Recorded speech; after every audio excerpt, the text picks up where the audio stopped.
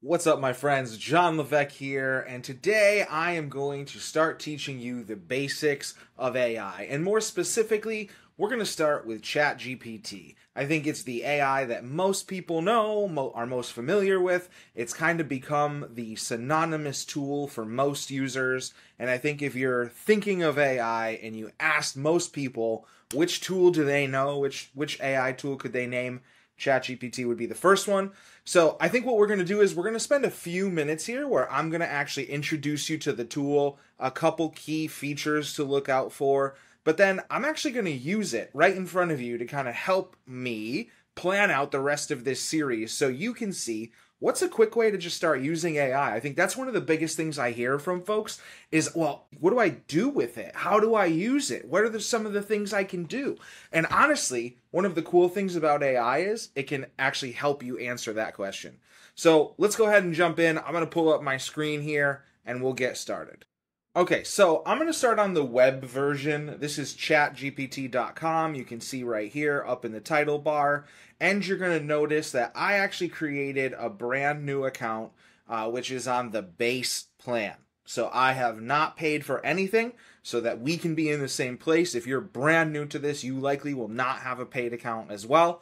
And so let's go ahead and let me show you just a couple key things. So first things first, if you ever want to start a new conversation with ChatGPT, you just click new chat right here. Okay. And that will just refresh this page. And so if I were to go ahead and say hello, you can see a conversation starts. If I hit new chat, my example chat down here moves down and now I have another new one right above. So new chat always starts a new conversation. Library. Library is where if you ask ChatGPT to create imagery for you, you can always find everything that you created in the past in the library. Sora is the video creation tool for ChatGPT. GPTs are a custom model where you can kind of tweak a GPT or a an OpenAI model for your purposes. There's a whole bunch of different ones in there, tutors and Canva GPTs and language teachers and and spec makers, product managers. Like there's just a ton of different specific GPTs that you can go and chat to to do very specific things.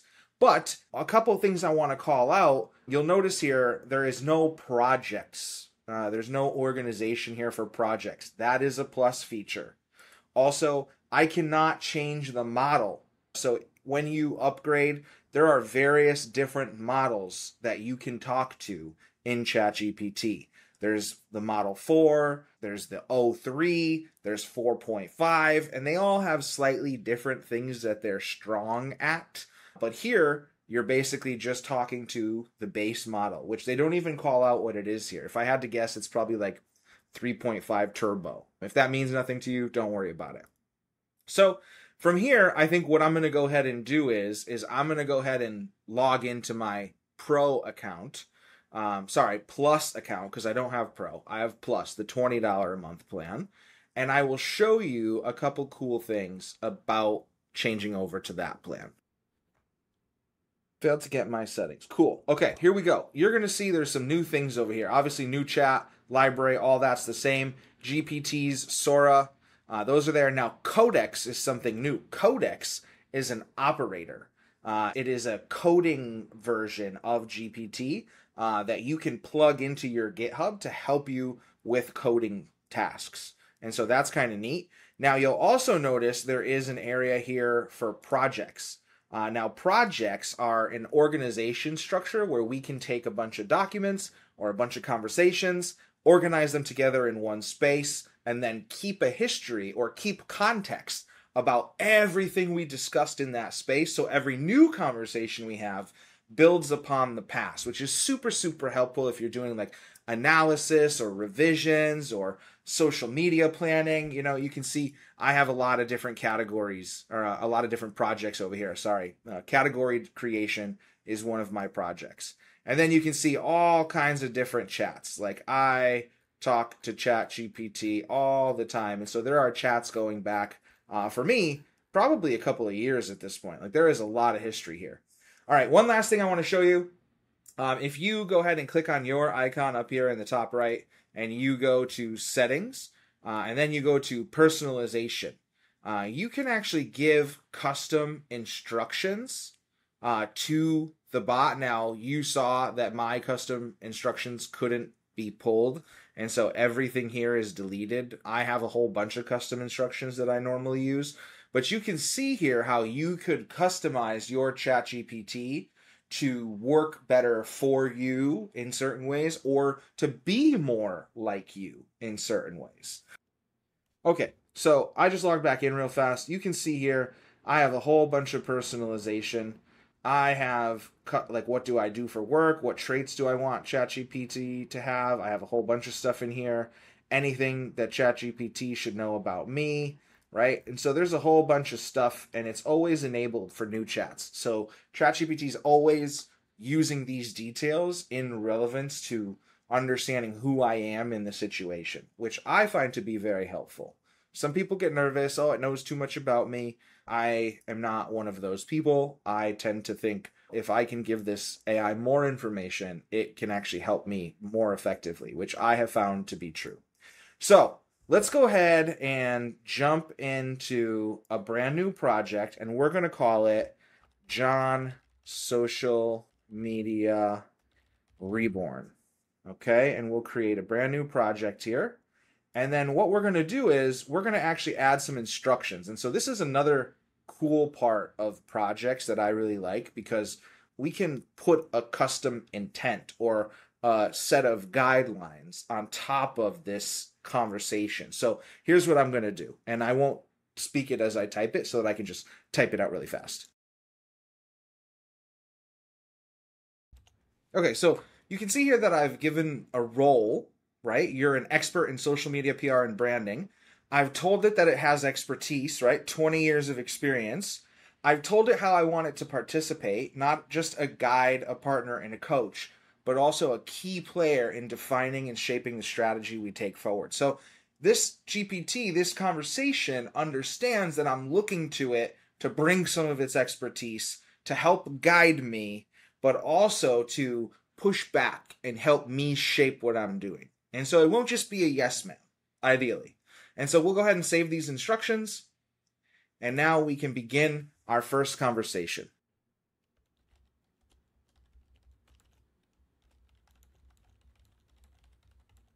Oh, real fast, before I go forward, here's what I'm going to do. I'm going to actually change the model. Remember I said when we upgrade and go to the plus, we can change the model? You can see there's a bunch of different ones here. Fastest at advanced reasoning, great at coding, great for most tasks, uh, good for writing and exploring ideas. 4.5, this is the research model. And so if we want it to look up and research things for us, we can have it do that. But I'm going to go ahead and go with O3 for right now, as I think that O3 is a pretty strong model. It's not the fastest, but it does advanced reasoning, which I like. I'm also going to go ahead and turn on search the web. So if O3 wants to go and search the web for anything, they can go ahead and do that as part of their process and preparation or understanding. So here we go.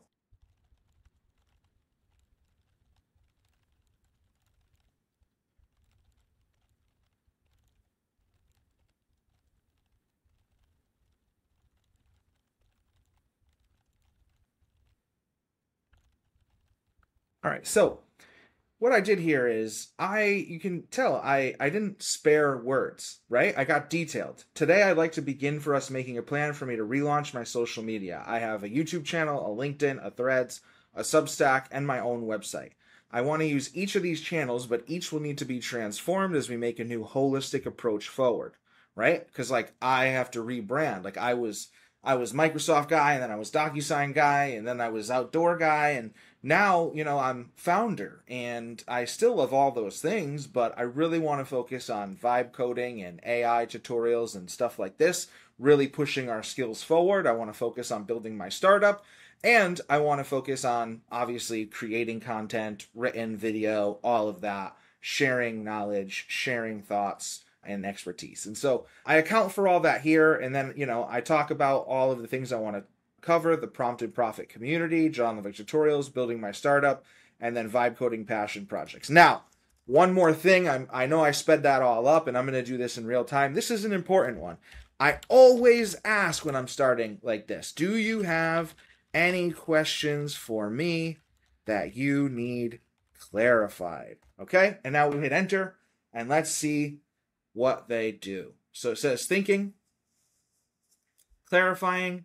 I should ask some clarifying questions before diving in. I'll adapt the tone to be casual so you can see it doing some searching here and it's going to come back to me with some questions. Before we dive into designing banners and cranking out a content calendar, a few quick checkpoints. Okay, so now it has a bunch of questions for me. So let me go ahead and go through and answer those real fast, and I'll speed this up with the magic of post processing.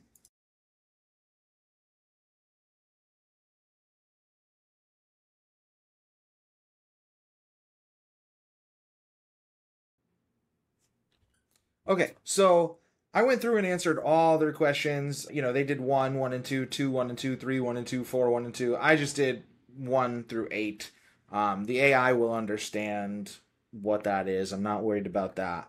You know, and then it kind of starts coming talking about contra- distribution, content distribution mix. And I think that this is right, right? YouTube is definitely going to be a huge part of what I'm doing, and LinkedIn will be a huge part of what I'm doing. And then Threads is really just like where I talk shit. so if you're interested in that, Jon, he hangs out on Threads. Uh, and so here we go. Once I have these answers, we can draft banners, we can lay out a 90 day plan, and we can provide some sample copy. Okay. So now here's what I'm going to do I'm going to go ahead and hit enter, and I'm going to see what it comes back with. We're going to look through the results. We're going to audit what it says, and then we might offer some more suggestions. Here's what you never want to do don't just take the first thing that this gives you. That's never going to be quality. It's just going to be a the fastest attempt to get you off its back, okay? Because what I want you to understand here is that in AI, it's actually lazy. It's trying to do the least amount of work or calculation to give you the answer that it think you thinks you want. And so you need to be very precise. And if you see something that you don't like, you need to push back. And so we're going to talk through that. We're going to see how that breaks down and how that all works as time goes on, obviously. But I just want to make that very clear and very apparent. We never take the first draft and copy and paste. Never. Okay? All right, so here we go. Key takeaway read this first. So it's telling me all the banner times, it's giving me a cadence lock in, it is giving me my goals, right? Because I told it that I wanted to get people to sign up for my email list for my prompt and profit community. That's a huge goal that I want to try and do. I'm going to try and build up a massive community of folks who are passionate about this stuff where we all learn together. The voice, full throttle Jon, totally unfiltered, no BS, financially freeing, but always integral, right? Like that's, I feel like that's my character. No fucking bullshit and in all directions, right? I'm not going to pull a punch to spare your feelings, but I'll never fuck you over and give you bad advice either. I'm always going to tell you like it is. So that's good. I think it caught that well. Uh, and then launch trigger next week. Uh, this this is the second video already. So like by the time you see this, like this will already be in motion, right? Because like I'm gonna put this video out on like a Tuesday or a Thursday, and I'm recording it on a Sunday. And so you're going to go ahead and see already this in motion by watching this video. This plan is in motion already. So let's go ahead and move on. Here we go. Banner refresh. And so here's the specs, the safe zone, design cues, and then the CTA. So this is YouTube, right? Upper right corner, join, prompt, and profit. And then there'll be like a button link because you can actually insert those. And then LinkedIn, here's the size, here's the visual, here's the tagline. Now, I think in the next video, what we'll do is we can actually go start creating some of this with some other AI. But um, before we wrap this one up, let's go ahead and keep going through. So here we go 90 day multi channel content plan starting July 15th, 90 days, then pushes us through October the 12th. Here is our pillars and focus. Okay, so prompt and profit. Uh, that's this. Like we're going to build together in public, 35%. Jon Levesque tutorials, also this, 30%. So 35% community activity, 30% actually creating material, right? Uh, now, Seek Build in Public. I'm going to talk a lot about Seek. It's coming to fruition very fast. In fact, by the time this video comes out, probably within like two weeks of the time this video comes out, we'll have a release that you can play with, which is super exciting. Uh, and then we'll talk about vibe coding, a lot of other things. I think, you know, that's going to kind of fit in here with the tutorials. Uh, I think, you know, this 10% kind of probably fits into that above and beyond. Uh, but anyways, here we go now, looking at our days, right? Look at channel and and schedule. What items are we doing on what days? Very exciting. Now, here is where we're how we're going to grow the email. And so they say create a prompt pack, 25 money making AI prompts. I actually already created a prompt guide, 10 prompts to expand your thinking and your productivity. These are epic prompts. Like, I love these prompts. I use them all the time. They've been a massive growth hack for my abilities. And so I'm super excited. That's so you'll see that coming to fruition. CTAs everywhere, cross pollination, collaboration, right? Guest starring. If you have been with me on my YouTube, you know that's a huge one for me. I love to bring other people on and let them show what they're building. And then, you know, obviously we got to always keep the authenticity test. We don't want to come across like cheesy or unrealistic or ungrounded, right? Moving on now, some sample posts. LinkedIn. I just quit corporate life. This time I'm betting on three things: AI travel and radical transparency, right? So so the, here's like an idea for something to jump off. Now, unfortunately, some people would just literally just copy this. Right? They'll head over to LinkedIn and they'll go paste it. Don't fucking do that. Okay? Don't. Like everybody knows that this is AI because you know why? Cuz it's way different than how you normally post. And so it's super important that if you're going to use AI to enhance your social media presence or to help give you a head start, don't copy and paste. Modify everything. Put your voice into it. Or start to train the model to be more like your voice, right? And so I just want to make sure and call that out too. I think, you know, it's not only important to understand how to use these things technically, but it's also important how to use them like socially and professionally. And copy paste is just not a hit. Everybody knows, everybody hates it. You're not going to gain the audience you're looking for by copy and pasting straight out of here. Okay, so a couple YouTube videos. So this one says turn GPT into your side hustle partner. Uh, in the description, download the PDF pack and join the Prompt and Profit community. I mean, you're going to see that. That's going to be down in the description. I will say download the Prompt Pack and join the community. Both those links will be there. And then here's the really cool part, I think, is there's always like a couple things, a checklist that comes along with something like this. So here's what I need to do, right? Design the banners, uh, record my first tutorial. Well, guess what? I'm doing that now. Uh, the banners will come next. Draft my prompt pack PDF. Done. Prepped my LinkedIn and Threads teasers. Got to do that. And then send the newsletter number zero to the first few people who sign up, right? And so, like, I have an actionable list of what I can do this week to actually kick this thing off. And so it's going to be pretty exciting. Like I'm actually going to do these things. Like you're going to watch this video number one, you're going to see in subsequent weeks, I will do these things. Uh, and so final guardrails, right? Swing, swingling. I don't know what the hell that is. Keep visuals high contrast. Track KPIs.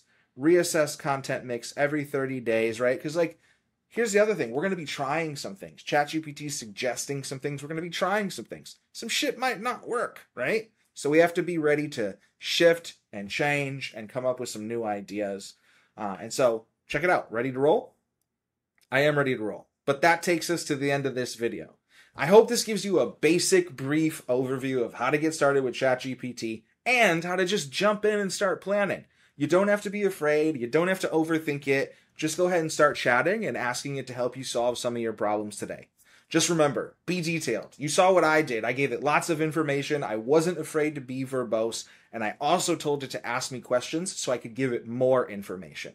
If you just remember quality in, quality out, shit in, shit out, you'll be okay. That's it for me for today, you guys. Thanks for hanging out. Much love. I'll see you in the next one.